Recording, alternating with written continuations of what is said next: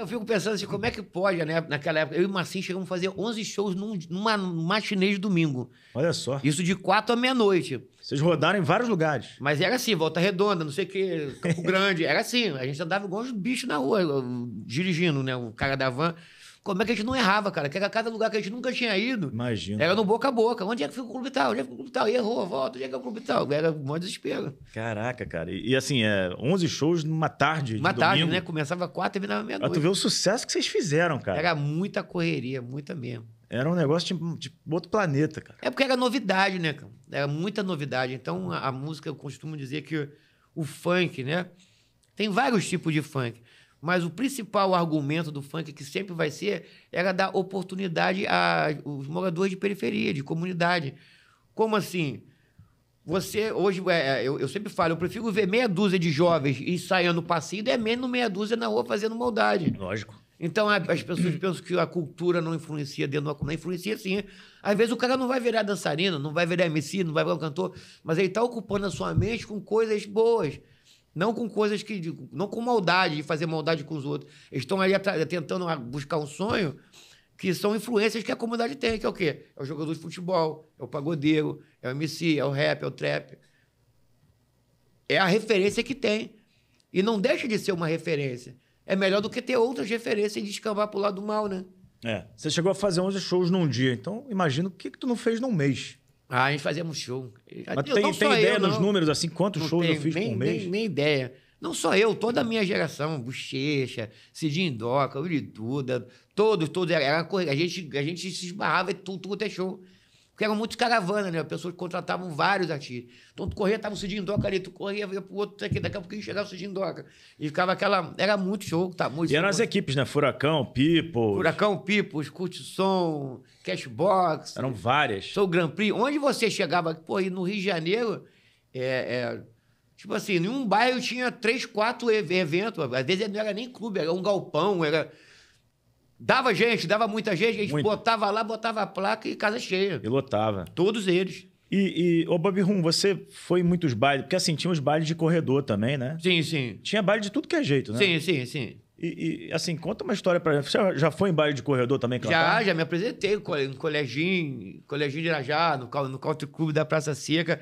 Eu, modesta parte, eu não, eu, não, eu, não, eu não me sentia confortável porque o meu estilo de música era outro. Era mais voltado pro amor, mais pelo melody. Mas mesmo assim não tinha jeito não, cara. Eu tava lá em cima cantando. Tá escrito sim que eu nasci pra você. E, eu- e a pancada comendo. que loucura, cara. e eu ficava, ficava cantando rindo. Eu falei, cara, os caras tão... Tão, Estão brigando aqui. Estão brigando falando de amor, mano. Mas fazia parte da cultura daque- daquela galera, né? Aí você acha que isso atrapalhou muito o funk? Ao meu, ao meu entender, tipo assim, atrapalhou. Musicalmente atrapalhou. Por quê? Por conta, às vezes, não, não pela, pelo que acontecia dentro do bar, que aquilo ali era, parece não, mas era meio organizado. Lá do A, lá do B, brigava e acabava ali.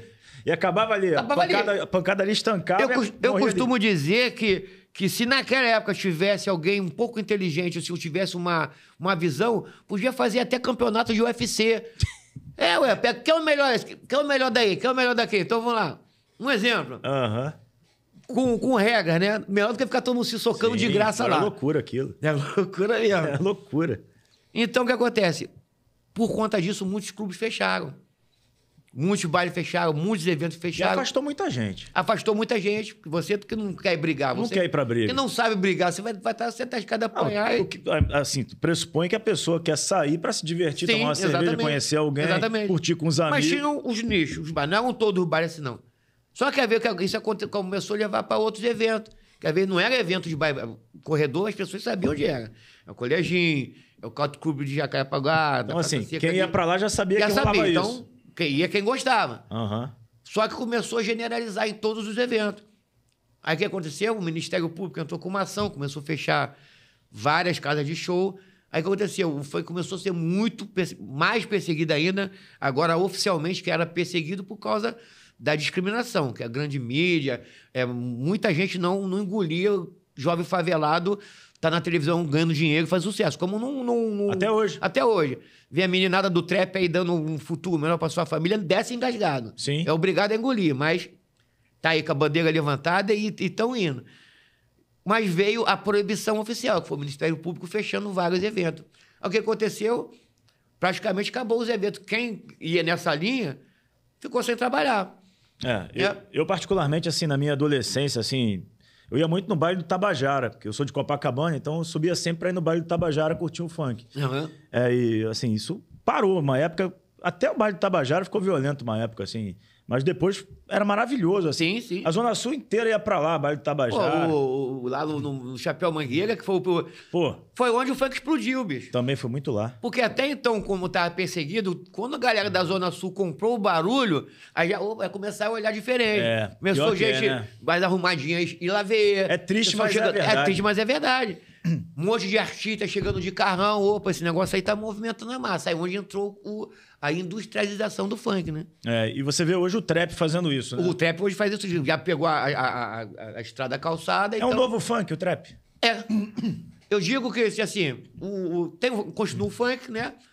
Eu gosto muito de trap porque se parece muito com as músicas que eu fazia. Porque se você reparar bem, tem muitos trap que fala de amor, é como se fosse um funk melody com uma batida diferente. Sim, sim. Então, eu, eu olhando hoje, eu vejo o trap, tipo assim, se eu fosse. É, o, o, o, que- o que que eu mais, mais me identifico? É o trap, porque é uma música que fala de N coisa, mas também fala de amor, tem aquela melodia e tal. Já o rapão já é mais o, o, o- o rap social, vamos falar assim, né? Eu só quero é ser feliz. Isso é o rap, na minha humilde opinião, do que eu entendo. Claro, claro. E princesa, por favor, volte pra mim. Isso é o trap. É, e tem o rap também no estilo dos Racionais MC, Sim, dessa galera tem várias também. vertentes. Várias vertentes. Várias vertentes. É, aqui é muito bom também, né? Bom, bom Cara, demais. Eu, bom gosto de eu tudo, gosto de tudo, eu gosto de tudo. Eu gosto de música urbana. cara.